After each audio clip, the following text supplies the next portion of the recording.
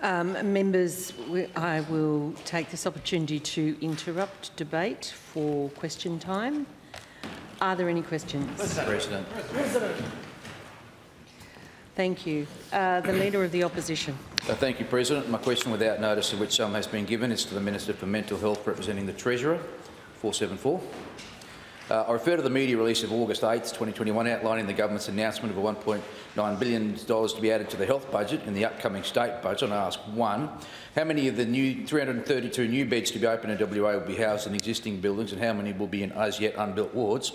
Two, how many of the new 332 beds will come from currently existing but unstaffed beds or wards? Three, how many of the 100 new doctors and 500 new nurses positions will be permanent full-time positions?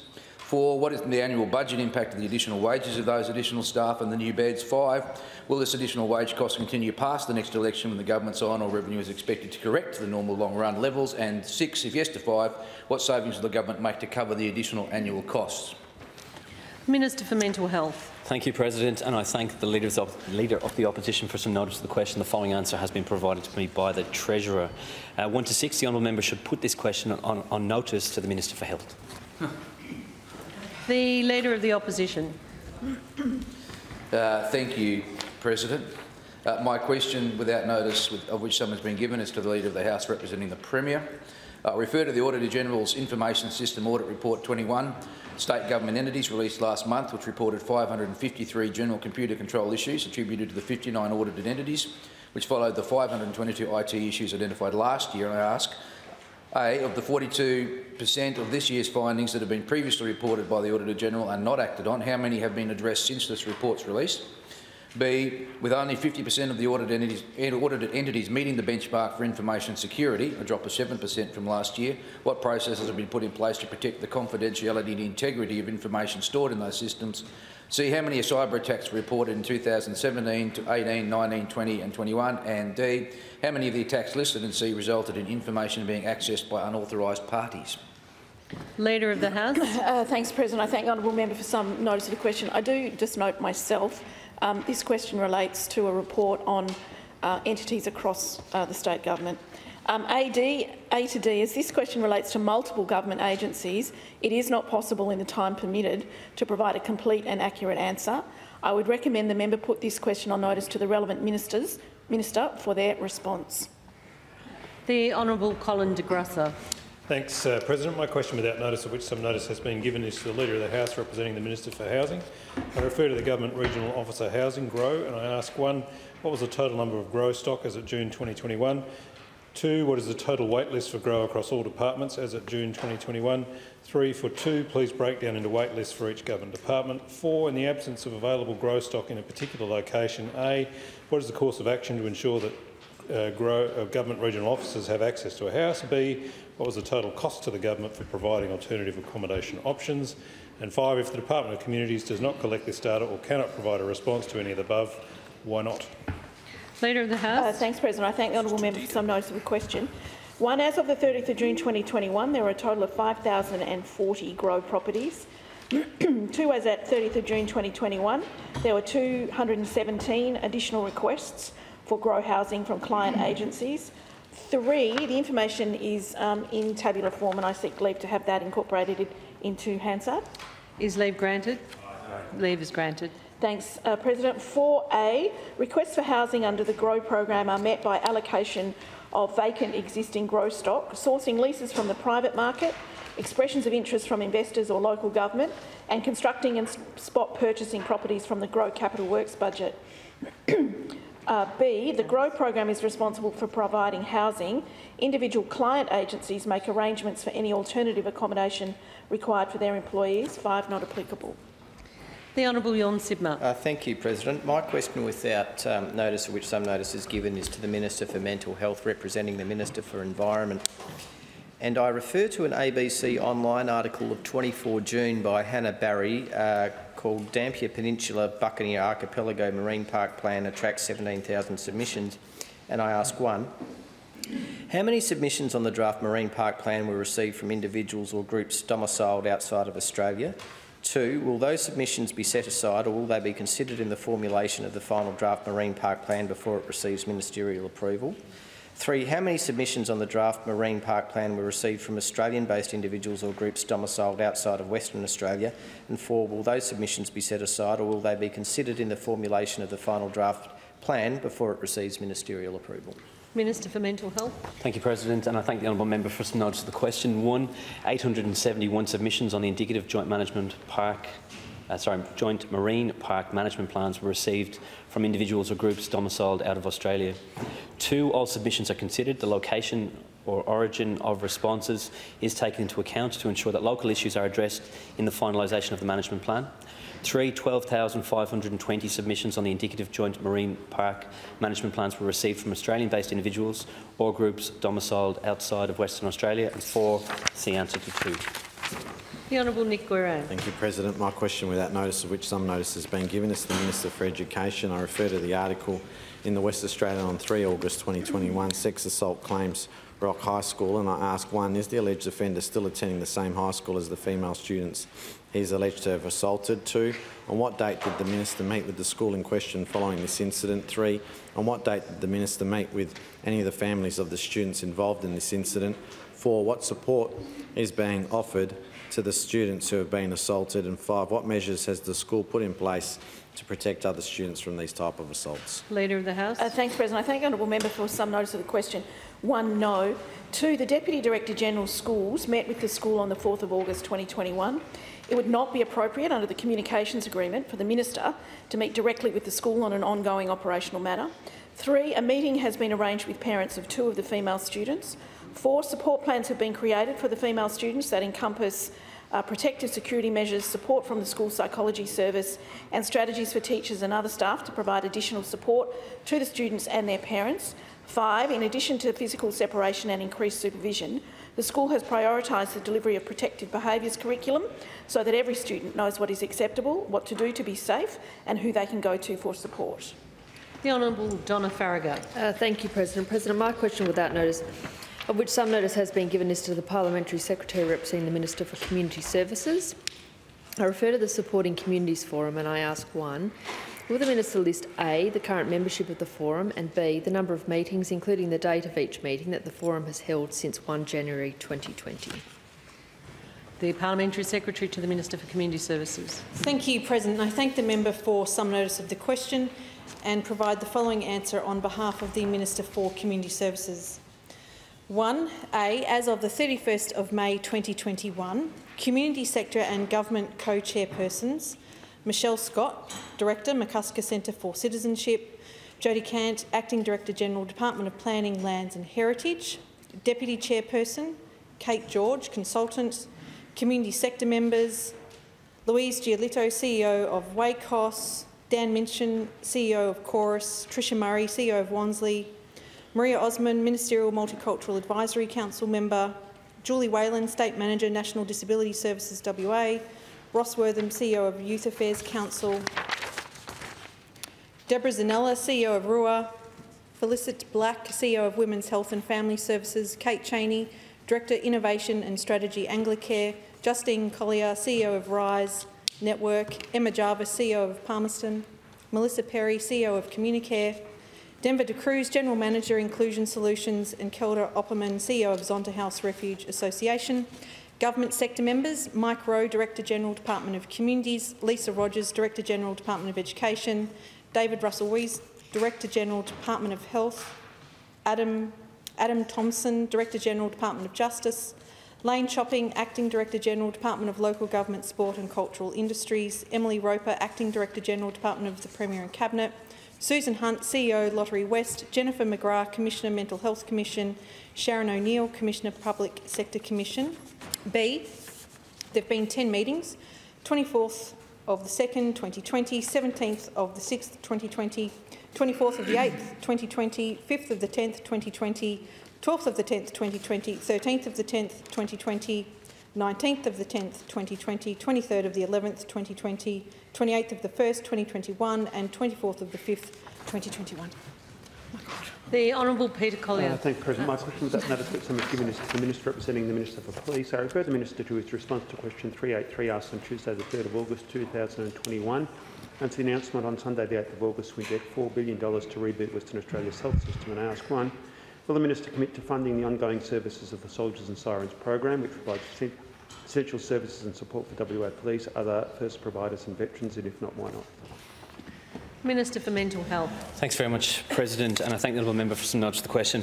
Honourable member, I saw an error in this question about 15 minutes ago, so I haven't got an updated answer for you. If it comes in at the end of question time, I'll provide it, if not tomorrow. The Honourable Brad Pettitt. Thank you, President.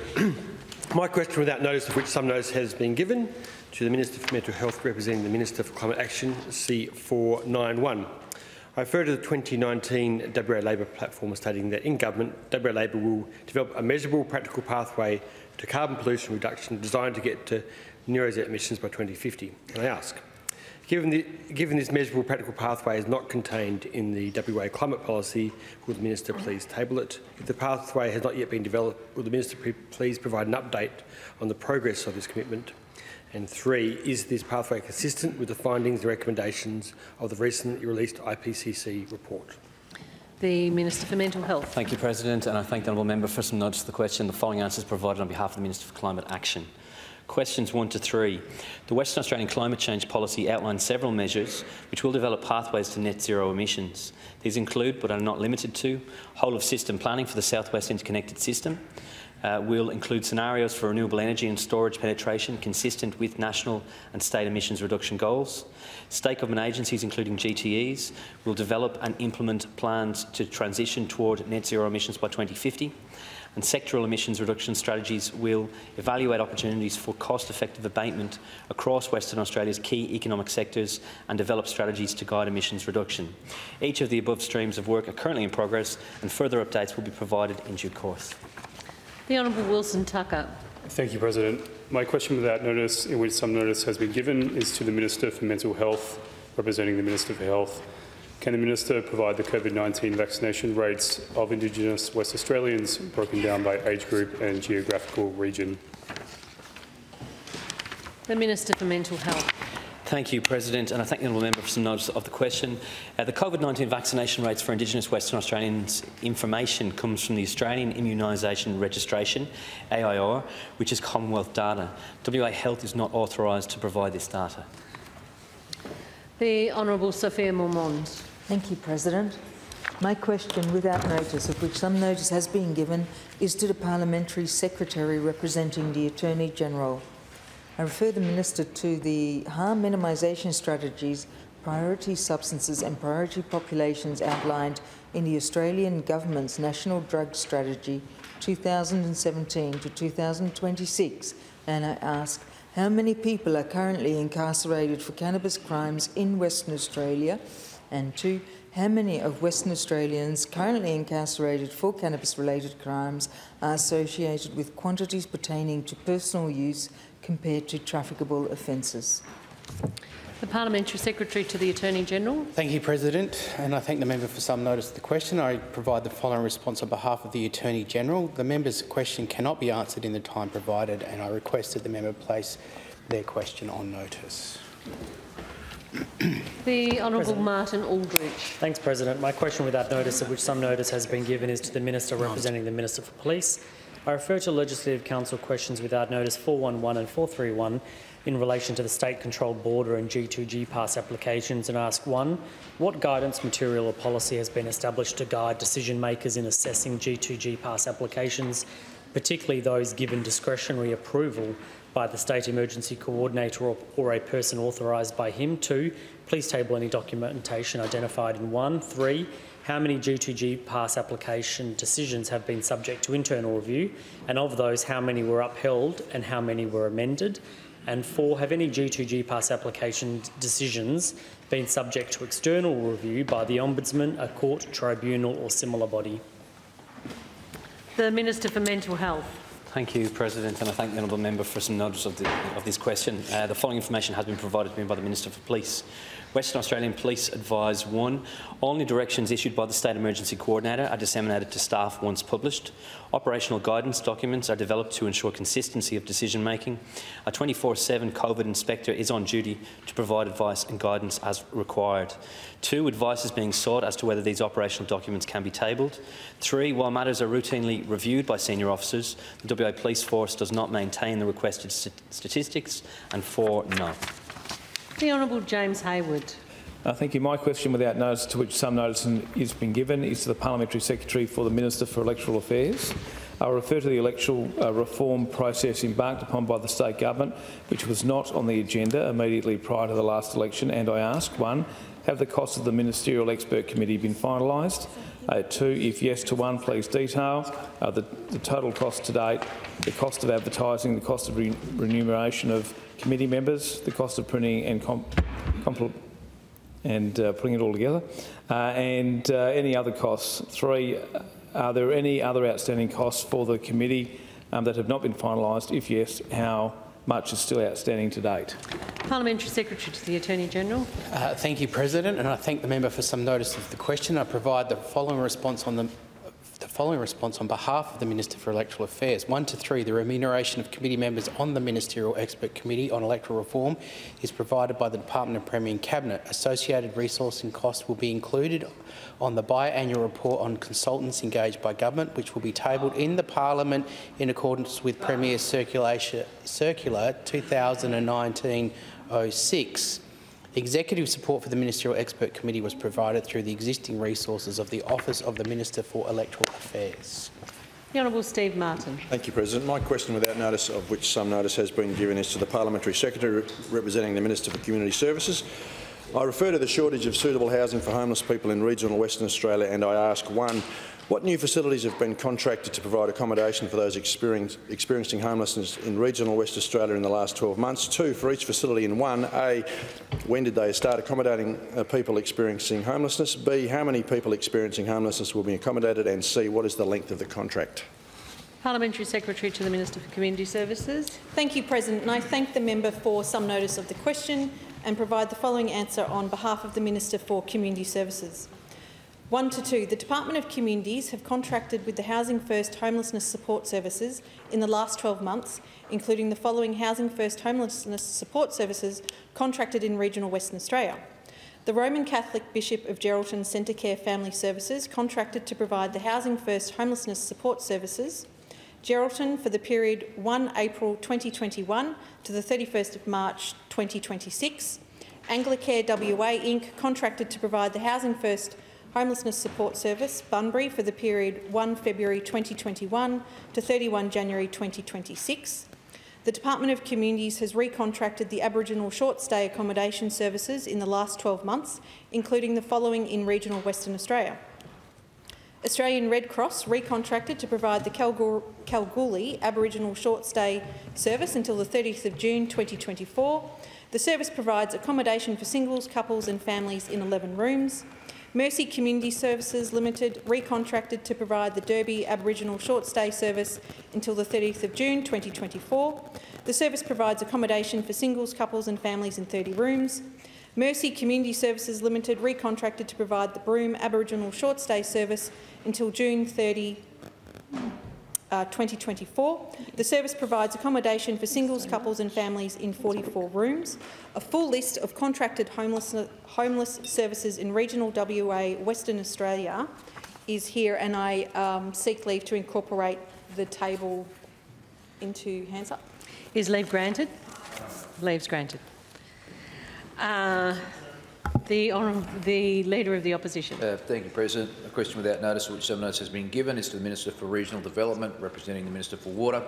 Refer to question without notice 251, asked on the 15th of June 2021 on the Lennox Weir and the Carbunup River in the city of Busselton, particularly parts 2, C and D, in which the answer told the House that surface water will be available to adjacent landowners, but likely at reduced levels. The Water Corporation is working with adjacent landowners to explore other opportunities and ask one, has the Water Corporation discussions had discussions with the adjacent landowners? Two, if yes to one, when? Three, if no to one, when will those discussions occur? Four, what option, options for access to water has the Water Corporation discussed with adjacent landowners and what amount of water has been identified as available? And five, What is the salt level of the water the Water Corporation expects to provide to or give access to the adjacent landowners? The Minister for Regional Development. Uh, I thank the member for the question and the Minister for Water has provided the following information. One, yes. Two, a meeting was held on Wednesday 26 May 2021. Three, not applicable. Four, the surface water that collects upstream of the weir, which is accessible to landowners, will still be available. The volume of water and the level of salinity is dependent on climatic conditions, rainfall and tidal movements and will vary throughout the year. Water Corporation will continue to work with the adjacent landowners to determine their water use requirements for agricultural purposes and to work towards a mutually agreeable outcome. Five, removing the weir stop boards and steel frames may see a short-term temporary increase of saline water in, in the upstream during storm surge events.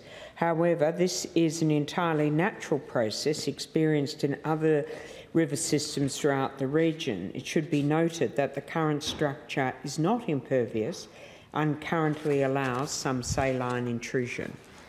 President. The Honourable Colin de Grussa. Uh, thanks, President. My question without notice, of which some notice has been given, is to the Leader of the House representing the Minister for Housing. I refer to Government Regional Officer Housing Grow and I ask one, are there minimum security requirements for grow properties? Two, if yes to one, please table the minimum security requirements. If no to one, why are there no security requirements? Three, how many houses did not meet the minimum security requirements at the last audit of Grow Housing? And four, as of 30 June 2021, how many grow properties are fitted with A, security screens on all doors, B, front door with deadlock, C, security screens on all windows? Leader of the House. Thanks, uh, President. I thank the honourable member for some notice of the question. One to three, yes, grow dwellings comply with the minimum security provisions set out in Regulation 12B of the Residential Tenancy Regulations 1989. Grow properties that are leased from private landlords are audited prior to occupation to ensure minimum security standards are, security provisions are met. If a grow leased property does not meet the minimum security provisions, the decision to accept the leased property sits with the client agency or an alternative property is sought. Cli individual client agencies may also provide additional security provisions to their employees. Four, this information is not collected in a centralised database and it would require individual analysis of each grow property. This would take significant time and effort and would be unreasonable to divert resources away from core business. The Honourable Tjorn Sibma. Thank you, President. My question without notice, which some notice is given, is to the Minister for Mental Health representing the Minister for Environment. Uh, it's question 483. Uh, I refer to Western Australia's conservation estate and I ask one, what is the current size of the conservation estate by category A, national parks, B, conservation parks, C, nature reserves, D, marine parks, E, marine nature reserves, F, marine management areas and G, reserves managed under sections 51G and 51H of the CALM Act 1984 and 2, for FY 2019-20 and FY 2020-2021, what levels of capital and recurrent funding were provided to DBCA to manage each of the categories A through G inclusive? Minister for Mental Health. Thank you, President, and I thank the honourable member for some notice of the question. Uh, one, the area at 30 June 2021 for each category is A, National Park, 6,449,679 hectares. B, Conservation Parks, 1,154,192 hectares. C, Nature Reserves, 10,088,170 hectares. D, Marine Parks, 4,424,469 hectares. Uh, e, Marine Nature Reserves, 132,000 hectares. F, Marine Management Areas, 143,385 hectares. G, reserves managed under sections 51G and 51H of the CALM Act 1984, 1,081,536 hectares. Two, I, have been advised by the Department of Biodiversity, Conservation and Attractions that to answer this question requires significant time and resources, and I ask that the honourable member place this question on notice. Uh, the Honourable Nick Goiran. Thank you, President. My question, without notice of which some notice has been given, is to the Parliamentary Secretary representing the Attorney-General. I refer to the Attorney-General's media statement on 8 July 2021, which announced that the State Solicitor's Office will now be an independent sub-department of the Department of Justice, and I ask one, are you aware it has been more than three years since rec this recommendation was made in the Langoulant report? Two, what has been the cost to the state in implementing this recommendation? Three, will you table the business case relating to this matter? The Parliamentary Secretary to the Attorney-General. Thank you, President, and I thank the member for some notice of the question, and I provide the following response on behalf of the Attorney-General. 1 to 3. The establishment of the State Solicitor's Office as an independent sub-department of the Department of Justice was the subject of a Cabinet decision. It will have a minimal impact on the state's finances. Of The Honourable Brad Pettitt. Thank you, President. My question without notice, of which some notice has been given, is to the Minister for Mental Health, representing the Minister for Climate Action, C492. I refer to the Minister's forward in the Debray climate policy, which states Western Australia's greenhouse gas emissions are rising and are expected to grow in the short to medium term under business as usual. And I ask, what are, West Australians, what are Western Australia's expected greenhouse gas emissions for 2025 and what data is this based on? Two, will the Minister please table the modelling or data containing this information? The Minister for Mental Health. Thank you, President, and I thank the honourable member for some notice of the question. The following answers provided on behalf of the Minister for Climate Action. One to two. Australia's national emissions projections are compiled by the Commonwealth Department of Industry, Science, Energy and Resources to provide sector-specific analysis of factors driving emissions at a national level. The Commonwealth does not publish state and territory emissions projections. The Honourable Martin Aldridge. Thanks, President. My question without notice, which some notice has been given, is to the Minister representing the Minister for Police.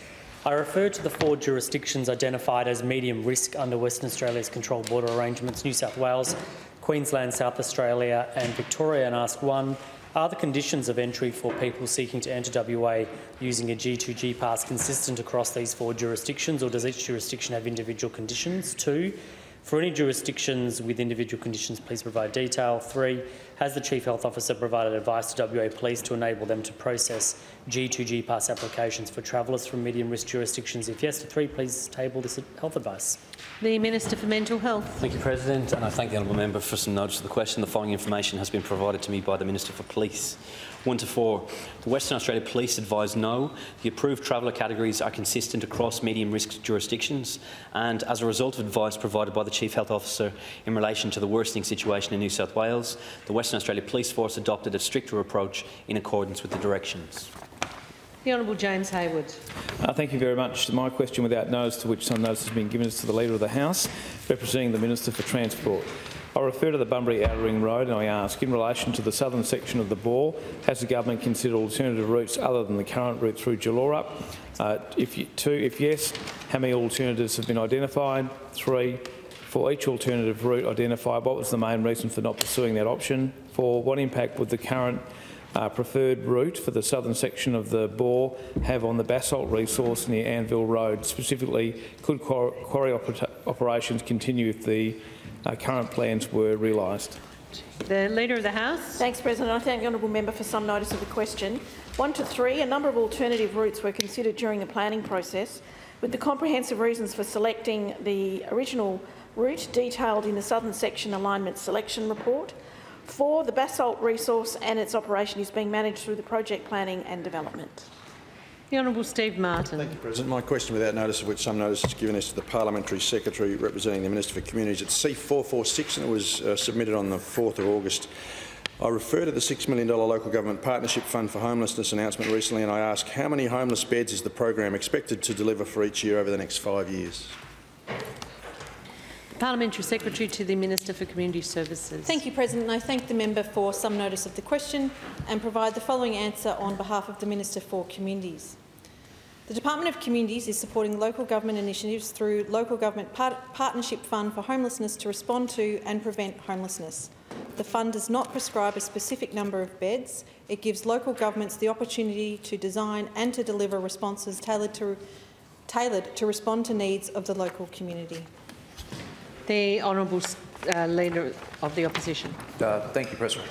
Thank you, President. question without notice of which some has been given is to the Leader of the House representing the Minister for Ports, uh, 456. Uh, I refer to the Fremantle Port Authority's application under Part 5 of the EPA, EP Act to amend its licence to export iron ore from 5.1 million tonnes per annum to 2.5 million tonnes per annum from August 2020, 2020 and I ask, One, what volume of iron ore was exported from Kwinana Bulk Terminal for the financial years 2016-17 to 2021 inclusive? Two, why did the Fremantle Port Authority request to decrease its export of iron ore from Kwin- Kwinana Bulk Terminal from 5.1 million to 2.5 million tonnes a year, effective from August 25, 2020? Three, will the minister table the process and decision within Fremantle Port Authority effectively halving its export of iron ore from the Kwinana Bulk Terminal? And four, if not, why not? Leader of the House. Uh, thanks, President. I thank the honourable member for some notice of the question. One, 2016-17, 4,301,838. 2017-18, 3,138,490. 2018-19, 16,079. 2019-20, nil. 2020-21, uh, 318,345. Two to four, I table the attached publicly available document. That document is tabled. The Honourable Peter Collier. Thanks, President. My question with that note, if some is given, is to the Minister representing the Minister of Police. I refer the Minister to Operation Tide and ask one, how many personnel are currently operating in Tide? Two, will the Minister provide a breakdown of the numbers according to areas of responsibility for those in one? If not, why not? Three, do any of those referred to in one receive an additional allowance while being deployed in Tide? Four, if yes to three, what is the quantum of the ad- additional allowance? And five, are those referred to in one permitted to engage in any secondary employment? If not, why not? Minister for Mental Health. Thank you, President, and I thank the honourable member for some notice of the question. The following information has been provided to me by the Minister for Police. The Western Australian Police advise 1 to 2. There are 406 police officers and 39 police staff allocated to Operation Tide. For opera- operational reasons, more specific information relating to staffing levels at individual business units is, is not publicly released. Three, no. Four, not applicable. Five, all operation Tide staff are vaccinated, and those undertaking airport and hotel quarantine duties are also subject to regular COVID 19 testing. Police take a rigorous risk based approach when considering individual requests for secondary employment from officers attached to Operation Tide. President. Leader of the House. I ask the business of the House be resumed. The business of the House has resumed. Are there any further answers from um, ministers or parliamentary secretaries? Leader of the House. Thanks, President. I table documents in relation to question on notice number 150, asked by the Honourable Peter Collier to the Leader of the House, me representing the Minister for Housing.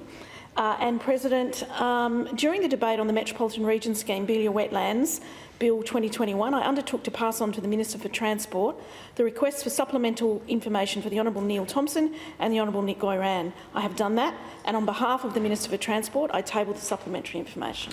That uh, information is tabled. Are there any further answers? The Minister for Mental Health. President, pursuant to Standing Order 1082, I inform the House that the answer to question on notice 146, asked by the Honourable Neil Thomson on the 3rd of June 2021 to the Minister representing the Minister for Health, will be provided on 19 August 2021. Any further answers for ministers or parliamentary secretaries? No. Uh, we return to order of the day number 46, the Public Health Amendment, Safe Access.